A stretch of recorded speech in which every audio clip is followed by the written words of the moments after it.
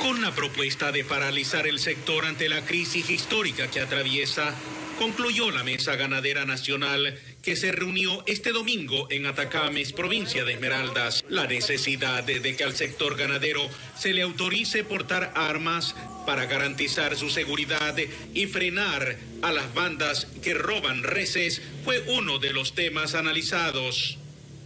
Pero como ustedes saben, en el campo, la única forma de defenderse y la única forma de estar seguros es con un arma. Uno no puede estar con un perro que ladra.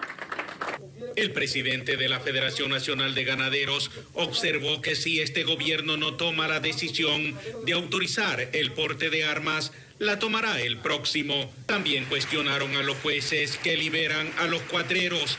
Gerardo Ceballos es ganadero de Manabí. No sé quién nos hace más daño, si los cuatreros o la justicia. Señores, he estado al borde de ir a la cárcel porque la policía me ha entregado ganado.